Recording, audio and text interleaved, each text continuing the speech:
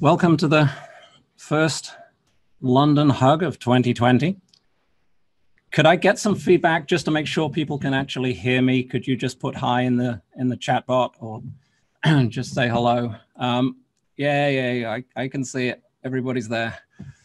This is really exciting. We've got um, 90 people on online. We've got um, approximately four or 500 people um, registered for this event, so we'll probably get some more as we go along. Um, everybody knows, uh, hopefully, why we're here, why we're doing this as a digital event, and it's a shame that we can't all meet in person, but the situation is what it is, and those people who know me understand how pragmatic I am, and, and we're actually looking at this as, as, a, as a positive thing so that we can reach out to a, to a larger audience. For those who don't know me, my name is Clwyd. I'm the CEO of White Hat. We are a uh, HubSpot partner agency based in West London, and we are responsible for the Central London Hug. And that's really all I'm going to be um, saying about us today. I want to move rapidly on to the presentation. Um, we've got about an hour um, to talk today. We're going to be covering a, a, a, topic that is really fascinating and incredibly relevant uh, for anybody who's who's using the HubSpot platform, anybody who's doing digital marketing. We're talking about attribution reporting. It's one of the main reasons why people go to a system like HubSpot and specifically to HubSpot itself now. Um, and it's a feature of the enterprise system. So we're, um, we're really lucky to be able to have um, Ari involved uh, in this. And Ari is based out of the Dublin office and is a senior product manager at HubSpot and he's going to talk us through attribution reporting and also give us an update on everything else that's happening at, uh, at HubSpot. And if he gives us an update on everything that's happening at HubSpot, we'll probably be here for the rest of the day. So hopefully that's going to be a, a summary. Um, so that's it for now. Put questions into the chat. I will be monitoring them. Um, we've also got Megan from Dublin monitoring um, chat. So we'll jump in there. We'll try and answer, answer questions as we go along. Um, also, we'll we'll have some time at the end of the session so you can fire off stuff at Ari directly. So, so that's it from me. I'm going to mute myself now and pass over to Ari Plaut. Good morning, everyone. Thanks everyone for being here. And thank you, Clwyd, for your adaptability. I feel like we're all with uh, everything that's going on these days. We're working in different ways than we have before, and uh, we appreciate you as the host. Uh, so we're going to jump right in. We're going to talk about attribution reporting fundamentals. Before we do that, I had posted this question of what we're excited about. I came into work this morning and this is the picture that I took out my window at the office. And it was like just a good reminder that there's beauty in the world, even though there's craziness all around, no matter what the papers say. So, feeling excited about this, feeling positive, like Jesse was saying, that it's spring and the sun is shining in Dublin. So, without further ado, my name is Ari. I am a product marketer. I've been at HubSpot for eight years. They haven't found a reason to kick me out just yet just got married in the last year, moved to Ireland, and I like being active. So I'm a hiker, a biker, a knitter, and a part time occasional yogi. Uh, I'm a little bit sick just coming off from being sick. So while I look like this in real life, I actually feel a little more like this and I might sound a little more like this. So I appreciate you all bearing with me through the presentation today. Uh, so I was hoping today to be in London with you in person, but I'm not able to be in London the last time I was in London, I looked like this. So that's me on the left and my older brother on the right. my wife always says that I used to be so cute and she doesn't know what happened. But when I was last time I was in London, I looked like this. Since I've been in Dublin for the last year, I've been all around the UK to explore, but I haven't been to London. So I've been to Bath and to Glasgow and to various other places. But I was hoping to make it to London today. I couldn't make it to London today, but I was hoping that virtually we could keep the London love going. And for my next trip, that you guys could help me to plan my next trip to London. Um, I feel like every time I even think about planning a trip to London, I get overwhelmed because it's so big and all the neighborhoods. So help me out. What we're going to do today is, as we go, every few slides to keep you all awake and to make sure that my next trip to London totally kicks butt. I'm going to bring up a specific topic about London. I'm going to ask for recommendations. And I would love it if you could email me, ari at hubspot.com, with your recommendations. So at the end, we'll have maybe three or four of these. You can send them each as we go, or you can group them all into one email, send it to me at the end with any questions you have about the presentation. We'll pick a couple winners and we'll send you guys some swag. So London recommendations, email it to me. We'll pick some uh, folks for swag. Let's start. if uh, remember Ari at HubSpot.com, best cafe in London for next time I'm there. Give you guys 10 seconds. Start writing that email. Look forward to getting it. Helen says I missed a lot of East Central London. That's fair. My Google image searching was uh, apparently my Google image game is off. Oh yeah, fine to put him in the Zoom chat. Would also love to get him in my email as well, just to make sure we track who we can give the swag to afterwards.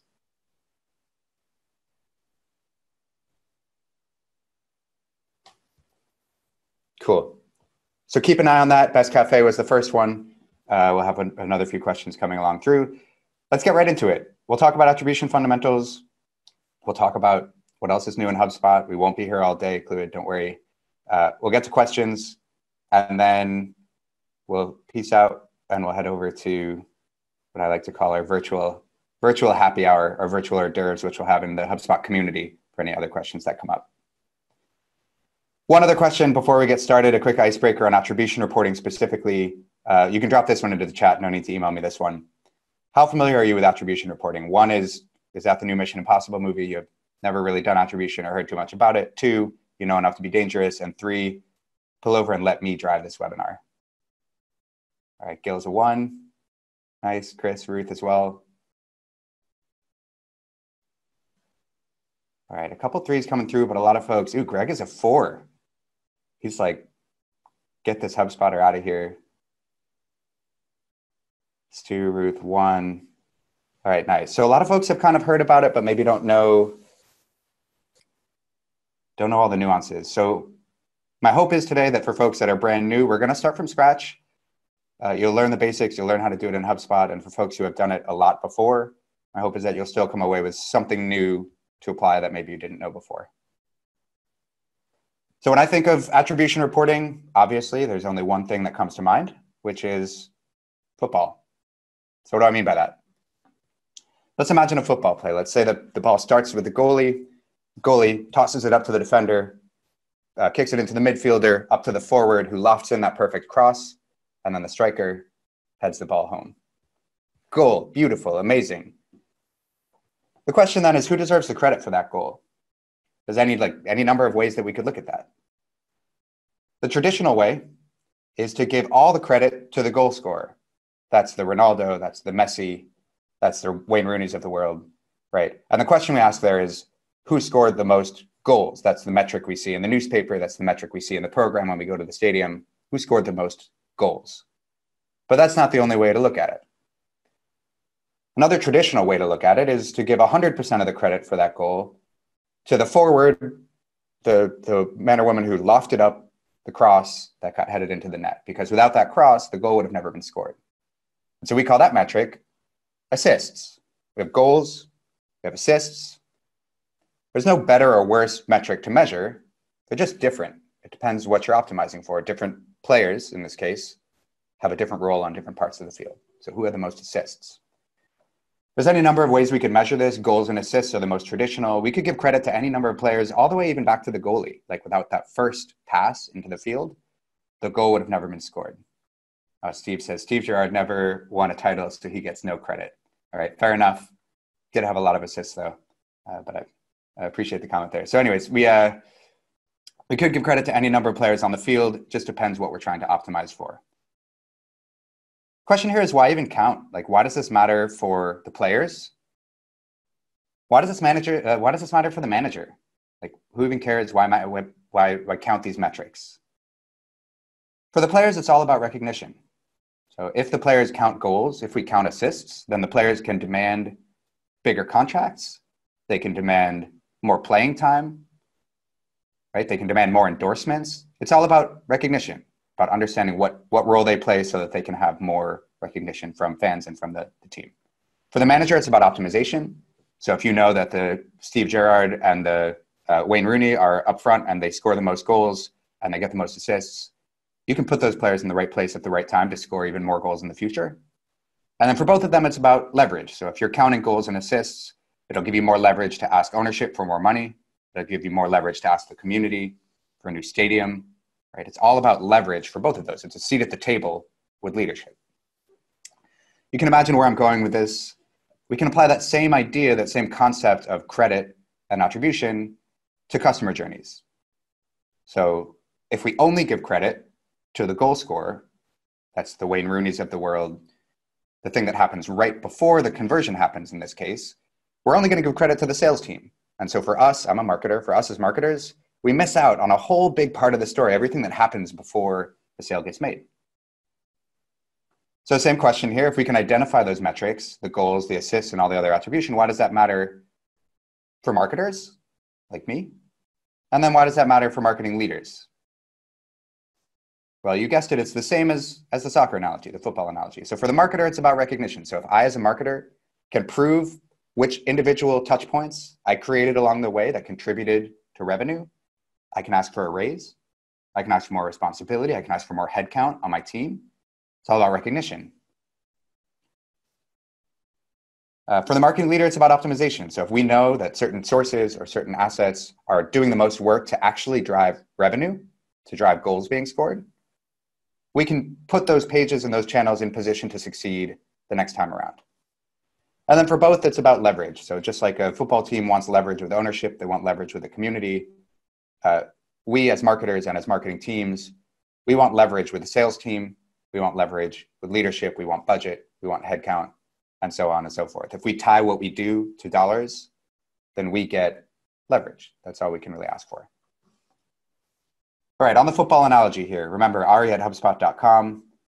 Email these to me. We'll hand out some swag after the fact. Next time I'm in London, what's the best sporting venue, the best place to watch a match? Could be a bar or a pub, could be an actual venue. Would love to hear it. I'm born and raised in and around Boston, so I'm used to going to Fenway Park for baseball games. But would love a new a new sport and a new place to check out next time I'm in London. All right. We got that under control. Oh, I see Wimbledon. I would love to go to Wimbledon. That's a lifelong dream of mine. Like that we have different answers. You guys have a ton of amazing the O2, West Ham, Wembley, the ton of amazing things happening in London. I feel like Ireland. I don't know. Meg can speak to Ireland as well, but we have uh, we have like two two solid stadiums. Emirates Stadium, the Oval, Fulham FC. Nice. Keep those recommendations coming. Keep them coming to my email and ask questions along the way. Thank you guys for staying awake. Whoever was the one that said Starbucks coffee is what they're most excited about, it's working. Everyone's still awake. All right, moving on. So that's the concept of attribution.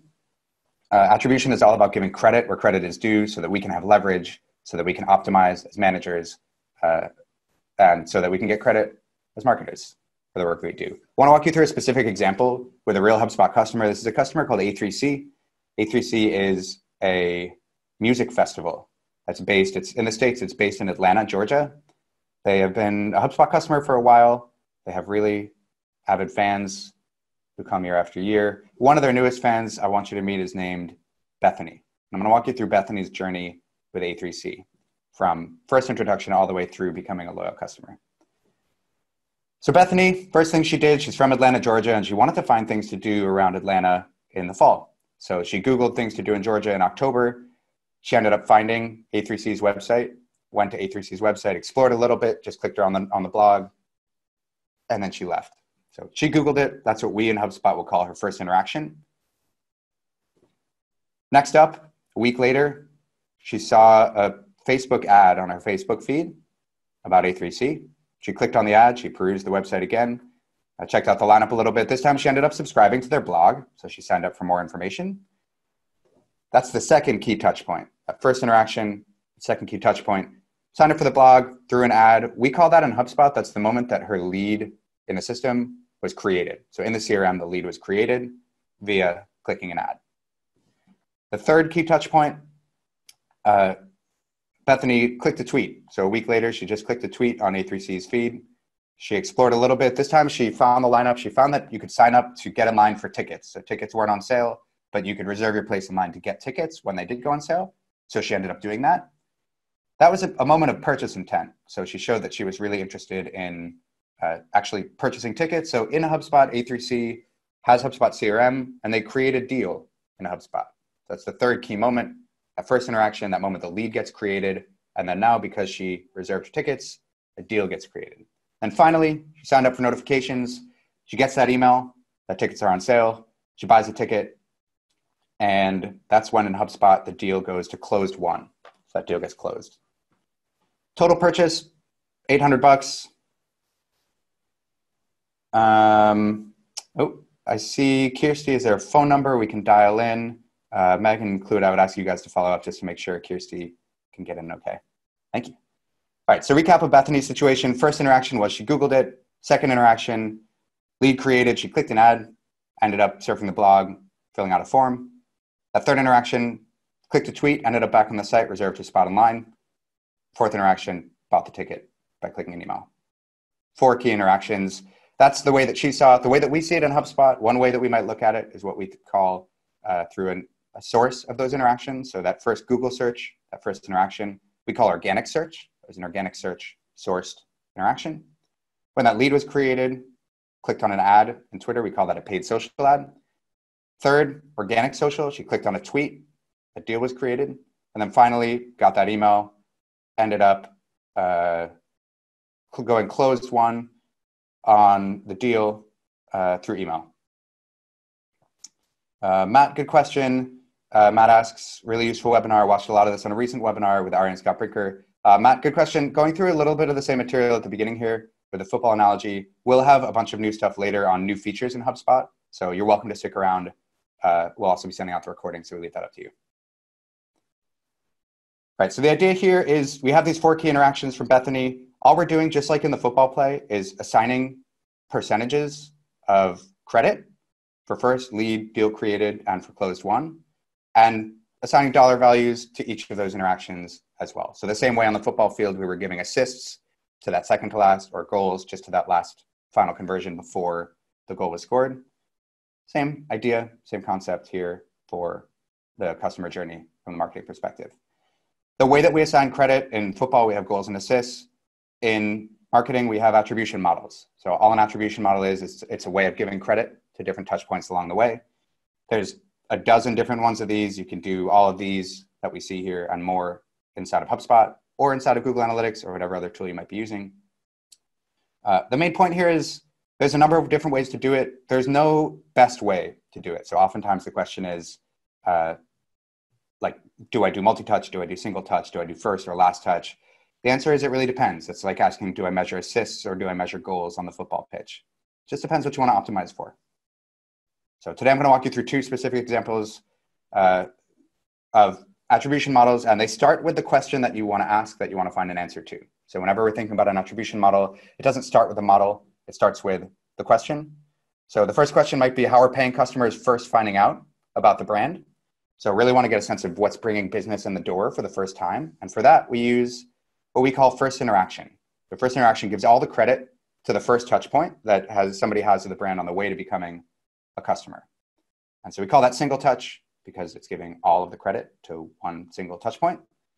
Uh, that would be like in football, giving all the credit to the goalie. So it's a different model. It's a different way than we traditionally look at it on the football pitch. But in marketing, it's actually it's actually a really good one and a really important one. Bethany's case, organic search was that first touch point. She Googled it. She ended up finding A3C's website. So in her case, 100% of that credit, all 800 bucks in revenue would go to organic search. Uh, I'll sh show you in just a, a, second how to run this report inside of HubSpot. But what we end up with is pretty straightforward. I wanted to show you the final result first, which is along the x-axis, we have the interaction source, direct traffic, email marketing, so on and so forth. On the y-axis, we have the amount of revenue from that source via that specific first interaction model that we're looking at.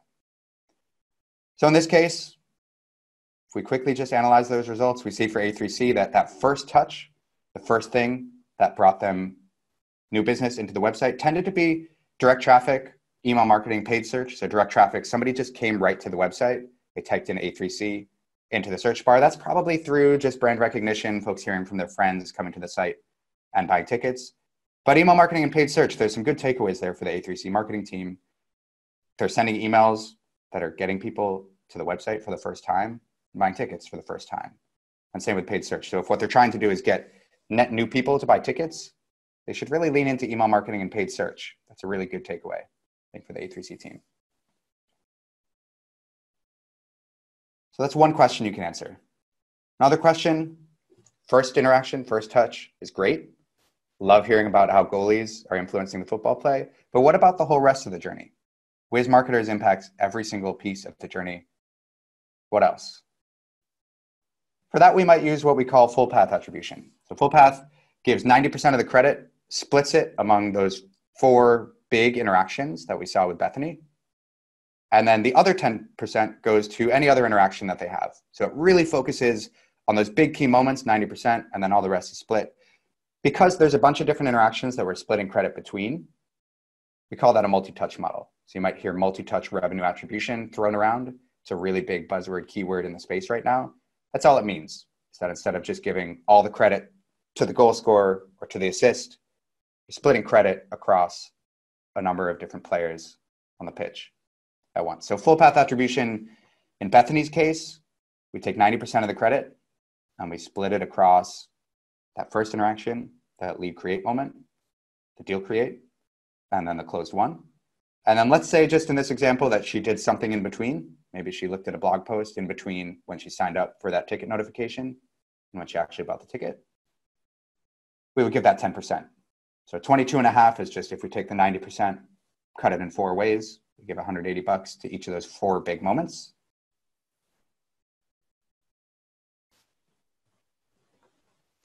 And so here in this case, the report looks similar, but we might have a different takeaway. So first we saw that email marketing and paid search were bringing people into the door. Uh, they were bringing new business into the door for the first time. In this case for A3C, paid social is really great for this full path model. We see it's really great at driving business through the rest of the path, through the rest of the funnel. It's actually not great at bringing in new business for the first time. But like with Bethany, if you want to influence somebody after they're already in the system and they're just considering their options along the way, paid social is really great in A3C's case.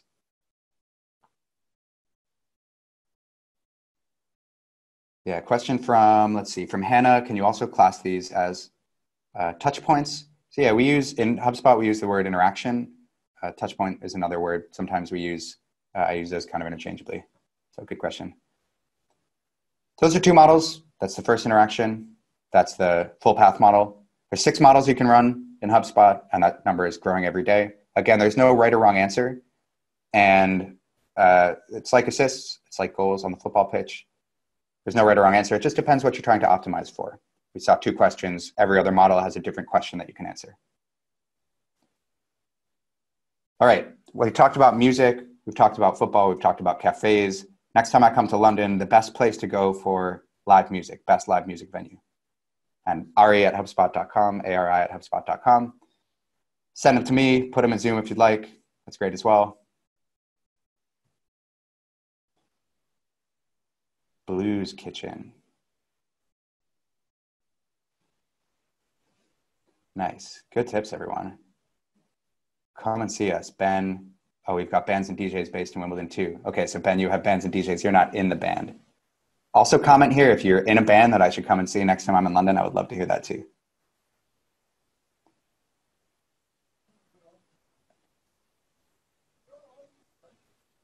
Nice. Oh, Ben plays in bands too.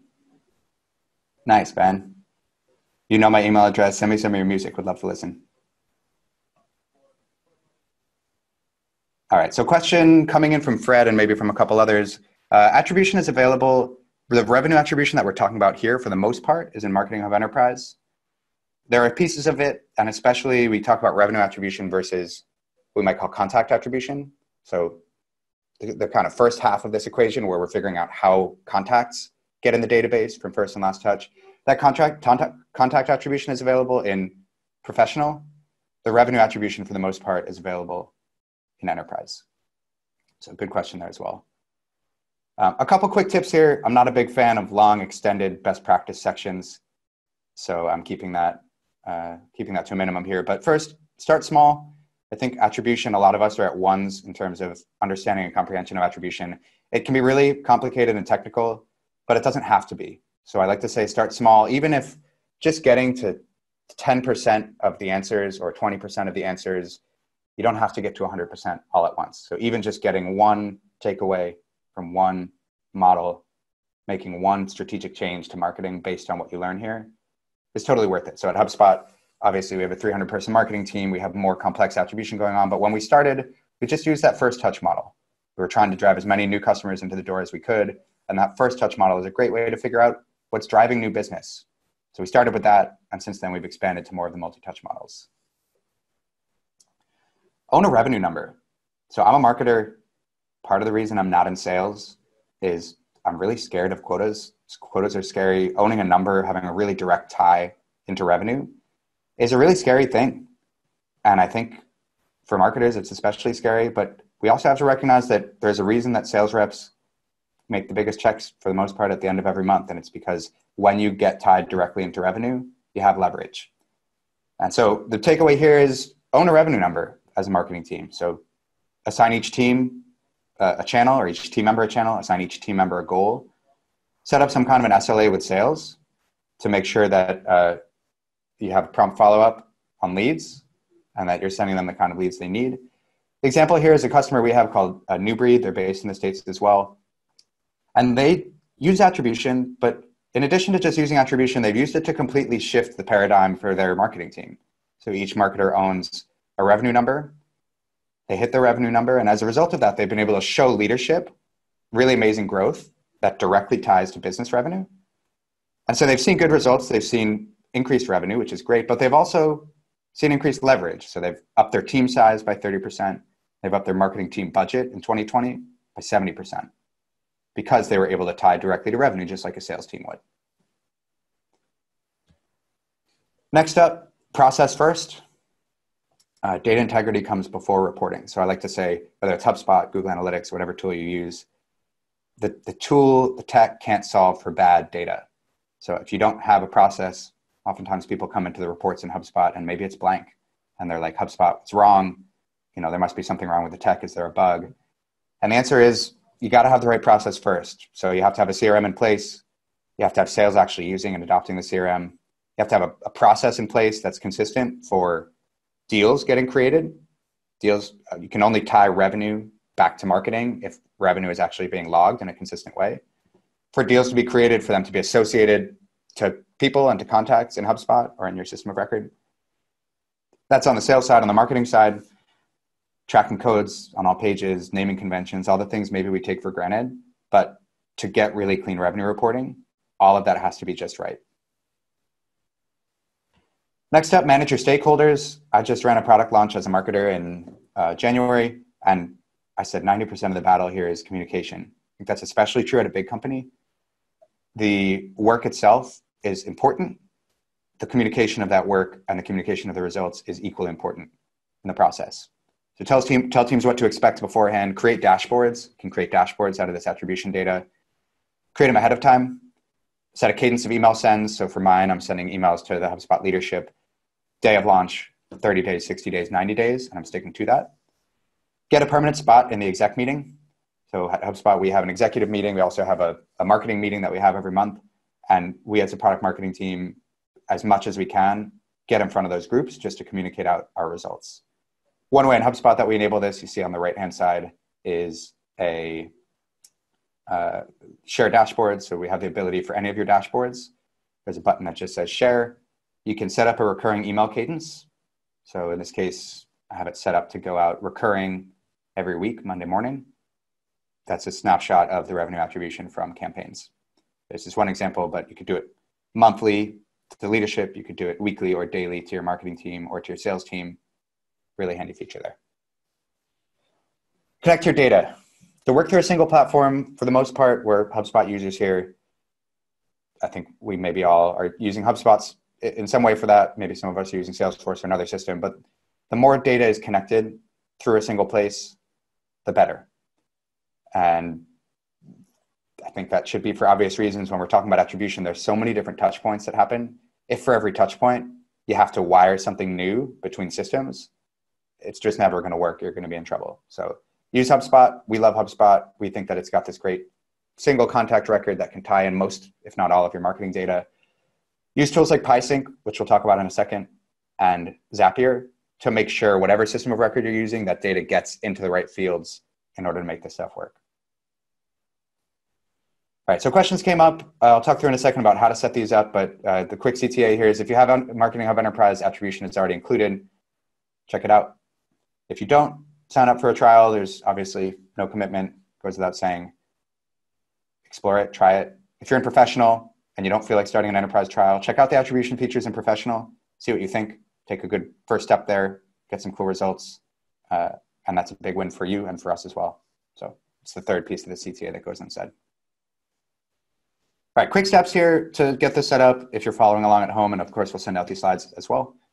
Step one is to get to the builder. So from any dashboard inside of HubSpot, you can click add report. You can also get there if you're in your reports nav, click on reports in the top navigation and down into the reports home, there's a create report button there as well. Um, click attribution. And so from here, if you're in professional, you'll see a revenue attribution and a contact attribution toggle. Uh, or sorry, in professional, you would just see contact attribution. You wouldn't see the revenue attribution, whereas in enterprise, you would see both. Step three, start with uh, the templates. So in HubSpot, we built, I, I think one of the things that I love about HubSpot the most of the many is that we, we're prescriptive. So we don't just give you a tool and throw you off into the deep end. We start with best practices. So all the questions that we get asked from an attribution perspective, we've aggregated those into uh, some templates that you can start with. So you can click between the templates. It makes the report for you as you go, which is super slick. If you like the templates, stick with the templates. If not, you can build something custom as well. So at the top of that builder, there's an Explorer tab you can see on the left here, and a Configure tab. Under the Configure tab, you have all the different levers you might need from uh, the type of chart that you're looking at to the deals. So maybe you just want to look at, you know, the deals that were closed in the last month to attribute, or maybe it's the deals that are in a certain industry or in a certain persona or of a certain size. So you could cut that down here. And then the final piece here is dimension. So we looked in that example from A3C at the original source, organic, so on and so forth. You could also cut that by the type content, blog post versus landing page versus website page uh, you could cut that by the deal pipeline, any number of dimensions that you could cut that by.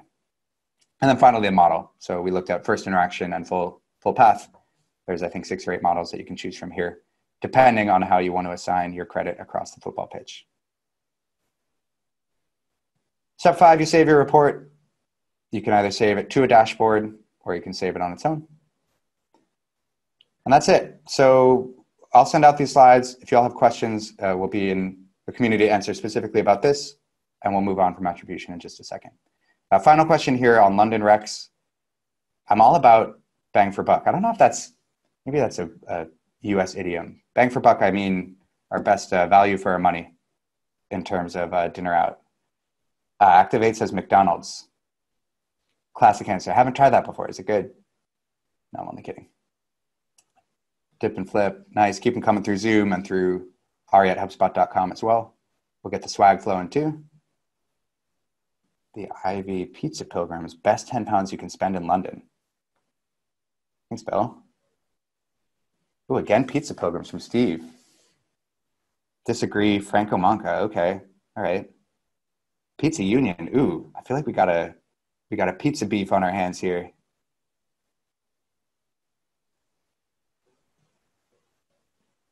Nice guys, these are great. I feel like I'm going to spend like two weeks in London. I'm never going to get bored. We got sporting venues, we got cafes, we got live music, we got value for our money with McDonald's from a uh, from the team here. Perfect. Keep these coming, and feel free to send them to my email as well. I feel like I'm getting more out of this presentation than you all are. This is amazing. All right, that's about attribution. Again, we'll be in the community for our our informal hors d'oeuvres, drinks, happy hour afterwards. So drop questions in there as you have them. I, I think I didn't get to all them from the chat. Uh, but in the meantime, what else is new? Ooh, Hawksmoor does better steak. Blacklock does amazing steak. Need to ask the best pub recommendations. Ruth, good point. If, all, if y'all have pub recommendations, send those as well. I feel like in Dublin, I've gotten my fair share of good pubs, but would love to come to pubs in London as well. All right, what else is new? So the way that we're thinking about new products in HubSpot this year, you've seen it with this Marketing Hub Enterprise launch in the last few months. We like to think about HubSpot uniquely positioned in the market there's the easy, and then there's the powerful. Small business solutions of the world are really easy, but they're not that powerful. These legacy enterprise systems, mostly CRMs, are really powerful, but they're really clunky and complex. HubSpot is the nice balance in between those two. So it's really easy to use, but it's also got the power baked in. So as you grow, you can run all the business process that you need. So that's as we see the new features, these are this is the way that we're thinking about the paradigm we're using to think about new feature launches this year. We've got a lot of great customers using HubSpot, where as we think about especially bigger customers, these are folks that you know, recognize, and love. On to the new features. This is, this is where the fun part happens. Uh, partitioning. So partitioning is a Marketing Hub Enterprise feature. It's in beta right now. The essential idea is if you have a big company, you have different teams in different regions, you have different business units, um, you can separate out assets between teams. And so this is a security feature and a convenience feature. Inside, it's an internal facing feature. It doesn't affect customers at all, but it makes it a lot easier to run a team and keep a team organized inside of HubSpot. So that's partitioning. You can do that for essentially all of the different features inside HubSpot. You can separate out pages. You can separate out workflows by team. Uh, you can separate out emails by team. Uh, and one other feature to mention here as a part of partitioning, we're also rolling out a, a high demand feature, which is you can actually separate out email preference pages. So up until now, you've only been able to have one set of email subscriptions. So if somebody within an email clicks on the email to set their preferences, they see every single preference you have. So for HubSpot, that means in our own emails, you know, the inbound events, the hug events, uh, product updates, all those subscriptions are in the same set. You can imagine a world where you actually want to separate those out. Maybe you have different brands completely and you don't want somebody who you know in the states maybe we have kfc and taco bell and they're part of the same conglomerate but they're completely different brands. You wouldn't want those preference centers to be merged together. You would want them separate. With partitioning you can do that. So if somebody unsubscribes from one brand from one team they don't unsubscribe to the entire portal email. So these are a big win i think especially for bigger teams inside of hubspot. Adaptive testing. One of my favorite new features in HubSpot, I think it's it's just slick. So A/B testing, I think folks may, maybe are familiar with. In A/B testing, you have two different variations of a page, one blue, one red, maybe. You put them up against each other, you test them out, see which one performs better, and then at the end, you go in, you whip out your, if you're like me, the statistical significance calculator. You Google that every time, and you use that to figure out which version is actually better, and if you can be sure of that. You pick the winner, and then that moves forward as the winner and that stays for 100% of the test. Adaptive testing takes that and makes it completely automated.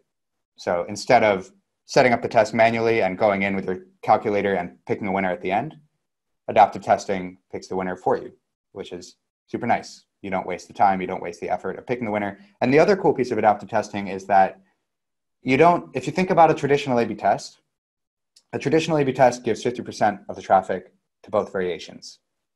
And that's great, but it means that even if one variation is performing way better, you're still giving 50% of the traffic to the worst performing variation. So the idea with adaptive testing, because it uses ML, it continuously optimizes that test. So little by little, it gives more and more of the traffic to the better performing page until finally it picks the winner. So it saves you time because it takes out the manual part, and it also saves you conversions because it optimizes as you go instead of splitting the traffic 50-50 the whole time. So that's a super cool feature. It's live to everybody. Uh, it's in Marketing Hub Enterprise. If you just want to run standard A/B tests, that's in Marketing Hub Professional as well, and you can run that there. Statistical significance calculator. Yep, Clwyd. That's I feel like I've used that one a hundred times in my life. Super helpful. Traditional A/B tests really really valuable if you're not doing any testing at all. But adaptive testing is just even the next layer deeper of experimentation in marketing. Account-based marketing, we've heard a lot about this. Excuse me, just one sec. Here's my uh, acting and sounding like a toad coming back in. We've heard a lot about this in the States and uh, in Europe as we've explored as well. You, you're B2B, sell into big businesses, you have big, large deals coming in. The deal size is really big. Chances are you're running an ABM program, whether you even know it or not. Um, ABM in HubSpot has always been possible, but it hasn't been uh, super obvious.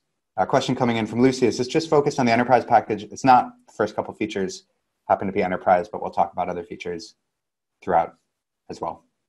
Uh, account-based marketing is in professional and enterprise, and it's actually across all the hubs in Sales and Service Hub as well. So be mindful of that.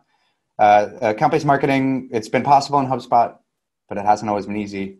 It's just a lot easier now. So one big feature there is company scoring. So company level scoring. You've always been able to score leads, but you haven't always been able to score companies on accounts. So if you're doing business with companies, it's really important that you qualify them too. And that's a really awesome new feature that's available uh, in professional and in enterprise as well. Uh, one more enterprise feature here, conversational marketing. So you actually have conversations. You can set up a live chat widget on your website. That's in the free version of HubSpot. So in the free version, all the way up through enterprise, you can set up a live chat, set up Facebook Messenger, have a really good conversational experience on the website. What's new in the enterprise version specifically is really deep targeting for those conversational widgets. So we, you can target based on the examples we have here on a segmented list. That could be folks from a certain place. That could be folks of a certain persona would see a certain chat widget. Device type smartphone you know uh, desktop ipad whatever it is or a session count. So if they've been to the website before and you want to show them as a, a repeat visitor a completely different chat you can do that so live chat is available again to everybody in hubspot you get various levels of functionality as you go up in the tiers but this is the newest piece that's just in the enterprise version which is uh, the super slick targeting uh, PieSync, we bought this company called PieSync last year. A big question that comes up is, does HubSpot sync with feature X?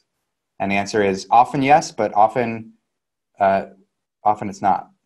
And PieSync with now built into HubSpot, they're part of the HubSpot family. We're building out features alongside them. You can sync 200 additional apps with HubSpot.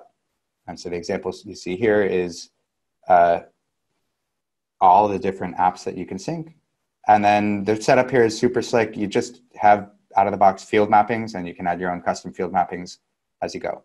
So if you've ever synced HubSpot with Salesforce or any other system, looks really familiar with PieSync, super easy field mappings. Uh, PieSync is it's available as an add-on. I think it starts at nine bucks a month, and as a HubSpot user, actually get a discount on that. So I think it's down to like seven bucks a month. Um, no requirement that you use it, but it's a really awesome feature if you're looking to set up syncs with other tools that are in your stack. Here's a feature uh, for Lucy. This one's in, in Marketing of Starter and above. Uh, we brought drag and drop email editing. So if y'all create emails in HubSpot, you can drag and drop your templates, uh, your modules into place now. That's email is all the way down to free. So you can edit your emails all the way down to free. We brought that same awesome drag and drop editor into pages. So if you're in Marketing Hub Starter or above, you can drag and drop modules into your pages, super slick, super easy. Uh, no code required. You don't have to go into the design manager or get a developer to edit a template or anything like that. Uh, that's in Starter and above, so you should play around with that. I was just actually creating a page, building a website for, I'm sure there's a number of us in the room as well, building a website for my mom, and I was using this drag and drop uh, page editing system, and it was uh, just a joy to use. So check it out, would recommend. Another one here, live to all accounts, not just enterprise, it's all the way down to free. Canva button. I don't know, have, folks have used Canva. I use Canva a whole lot in my life as a marketer because I, am not good with photo editing software. The Canva button brings the Canva uh, photo editing, image editing interface directly inside of HubSpot. And so when you, oop, I didn't even update the, the copy here, but you guys get the drift. When you're creating an email, when you're creating a landing page, you can click on a button that says edit with Canva. Uh, you, you go to add an image, click that button, edit with Canva, and then the Canva interface, just like you can see here, it pops up over HubSpot. So you auth into your Canva account, you create your button or whatever it is, you insert it into HubSpot, and it brings you right back into the same place you left off. So super slick here. I played around with this. I just saw actually Dharmesh emailed the whole company the other day saying uh, for his website, he just made a new image with a Canva button and absolutely loves it as well. So if you're doing photo editing and you find yourself in Photoshop or InDesign a lot, try the Canva button. Canva is a not uh, it's a third party source, a resource. It's free, so give it a try.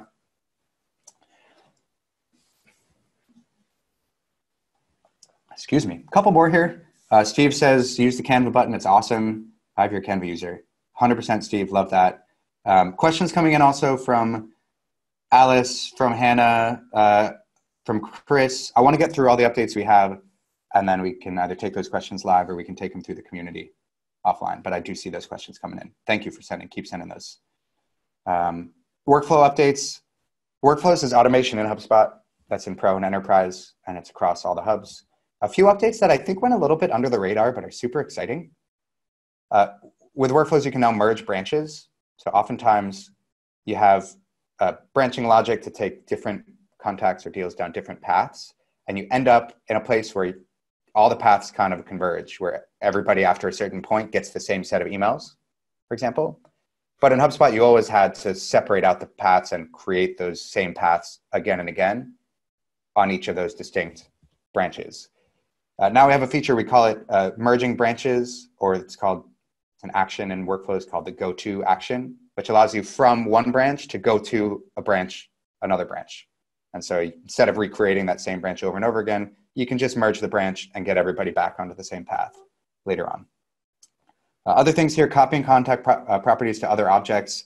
So this was a, a big ask just in terms of data management. One example here is like you have a contact going through and maybe you want everybody who fills out the demo form you want a deal to get created and assigned to a sales rep but you want that deal to have a bunch of information from the form submission. You know the size of the company the name of the company the person's first name and last name whatever it is. Um, you can now copy those from a contact record uh, contact onto a deal through workflows. And so that kind of cross object automation has been a really big win for our customers so far a few others here. Uh, combine conditions, create folders. Uh, a subfolder is a good question. Uh, I'll follow up with the team and, and, get you an answer on that. Um, I think folders was the big first step and then subfolders from there. Uh, view revisions, I think this is a big one, even just in the last couple weeks. We're used to using Google Docs, Google Sheets, where you can just see what version was live when a certain thing happened. And I think the big question with workflows is often why did somebody not get a certain thing? And being able to view revisions you can see what you know on a certain timestamp what a workflow looked like and who updated it last. And i think that's super helpful especially as a, the person that runs the hubspot account or the admin or the ops user that's especially useful. Forecasting property. This is actually just new yesterday. I don't even know if we've announced this. Um, you can do deal forecasting in HubSpot and all HubSpot subscriptions, all the way down to free. Uh, the forecast has always been a little bit confusing because the forecast in HubSpot pulls from deals. You have your deal stages, and the deal stages have a percentage to close. So you might have a demo stage for your deals that's 60% to close or 40% to close. And so the forecast that we run in HubSpot and the default kind of forecasting model, uh, model and report multiplies that percent by the value of the deal, adds that all up, and puts it into the forecast widget. Even just explaining it, it's a little bit confusing. So a lot of folks have asked for something that's a little bit easier to approach for sales reps, and we now have that. And so this new forecasting property, it's a default property in all HubSpot accounts now. That's called manual forecast category. Uh, and it just instead of using percentages and tying to deal stages, it makes a sales forecast based on uh, the perspective of the rep. So they can say what's their best case for a certain deal. Most likely they're going to close that deal. They'll commit to closing that deal or the deal is already closed versus using the deal stages. So uh, for folks that are doing sales forecasting, this is probably something that's familiar, gives you flexibility. It's not required that you use this, but just so you all know that it's available. A couple more here, and then we'll wrap up.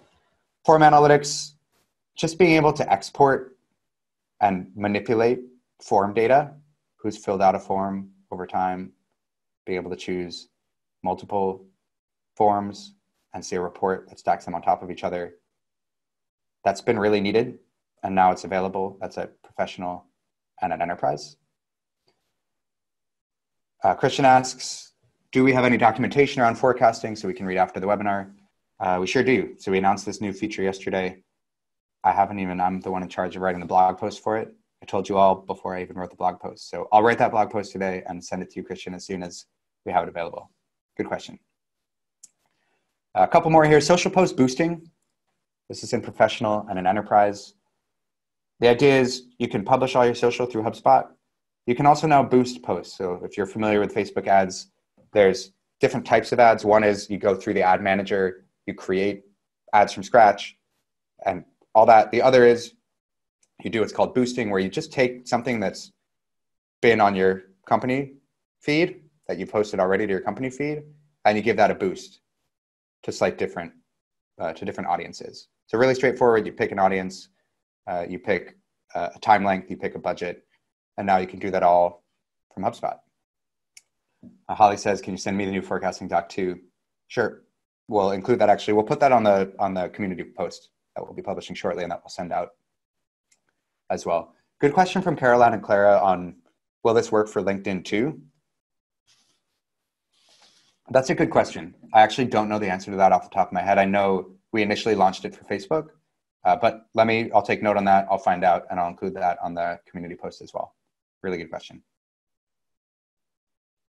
Uh, one more uh, password protected knowledge articles. So don't forget, we have marketing, we have sales. We also have a service hub. Starts at free, goes all the way up through enterprise as well. One of the enterprise features is that you can make a knowledge base. So if you want a help documentation center for folks to visit and find out more about a certain thing in your product or in your services, you can create that. And now you can password protect those. So if you have a certain knowledge base article that you only want a tiny subset of your audience to be able to see, you can protect that by a specific password, or you can just protect that by a certain smart list in HubSpot. So only folks on that list will be able to access that knowledge base article. So super slick way, I think that the list functionality from the marketing tool that we're all used to plays in and connects that flywheel into the service hub and the service use case as well. Uh, all right, I think that's it for me. We're at the top of the hour, uh, so I'm. I think we'll close out here. I'm going to send out the slides. I'm going to send out a uh, community post that we can answer all these questions and ask additional questions. We're also going to send out an NPS survey. Uh, so I would appreciate, and Meg and I know Clwyd would appreciate sending out, uh, filling out the NPS survey. This is something new, this virtual hug that we haven't tried uh, just yet. Say nice things, but also say honest things about how we can improve. Uh, and so that's it for me. Last question from Abigail coming in was, what's my email? It's easy, ari at hubspot.com, A-R-I at hubspot.com. I'll take questions, I'll take feature requests, I'll take recommendations from London, uh, I'll take cash, check, credit, whatever you want to send. Uh, and with that, uh, thank you guys so much. So we'll stop the broadcast now and enjoy the rest of the day.